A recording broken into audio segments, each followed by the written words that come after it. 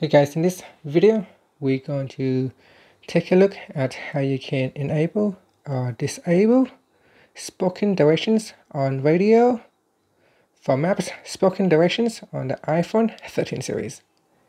First, let's go back to the home screen by swiping up at the bottom of the screen. And on the home screen, tap on settings. In settings, you want to go down and tap on maps. In maps, go down to spoken directions. So tap on spoken directions.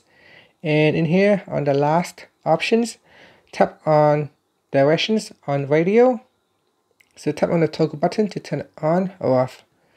Now if you turn this on, then on cars that support it, hear spoken directions when you are listening to the radio. And finally, you can tap on the back key at the top to go back to settings uh, swipe up at the bottom to go back to the home screen. Thank you for watching this video. Please subscribe to my channel for more videos.